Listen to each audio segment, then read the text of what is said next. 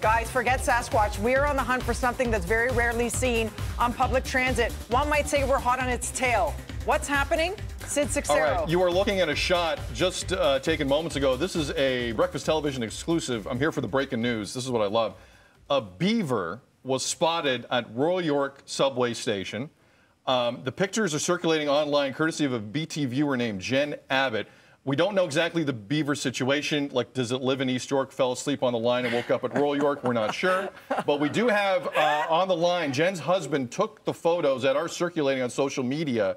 And Will, uh, Jen's husband, is actually joining us on the line. Will, welcome to BT. Good morning. Good morning. All right, so you're at Royal York Station. You saw a beaver. Then what?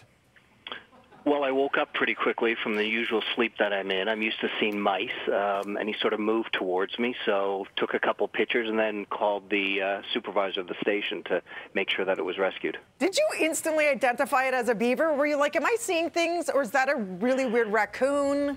Yeah, didn't see the tail at the beginning, so wasn't sure what it was. Um, and then quickly, when it turned to the side and I saw the big flat tail, I recognized it from a nickel. Did it run away from you? Was it scared? No, I think it was just in a bit of shock and sort of would move towards me if I got too close. Oh my gosh, those Did are you, great shots. Will, forgive me for this. Did you look at it and say internally, damn?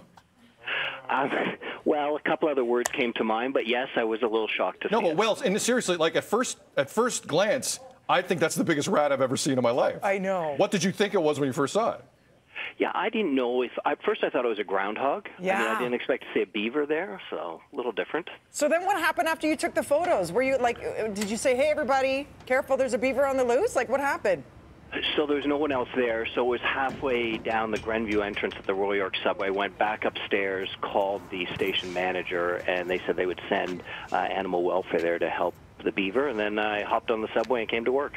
All right. Well, we, we you're, I, these pictures are kind of going viral right now. This is a BT exclusive, and Yeah. well, I know this isn't your thing to to go on air like this. You were kind of uh, coaxed and prodded, but we appreciate it. Have a great day, Will. Thank you, sir. Thanks, Will. All right, thanks you too. Bye. Leave it to Beaver. BT, Beaver Television. Who knew? We've seen, uh, what, wasn't it the raccoons and the donut shops and all that?